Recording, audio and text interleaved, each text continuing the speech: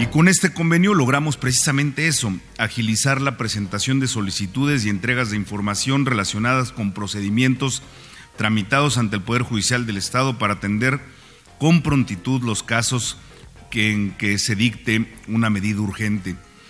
Y queremos con esto, conjuntamente, dar tranquilidad a la ciudadanía de que en caso de encontrarse en la necesidad de tener que tener una contar con una protección a raíz de un procedimiento judicial, pues se vaya a brindar una atención inmediata desde las instancias de seguridad del municipio.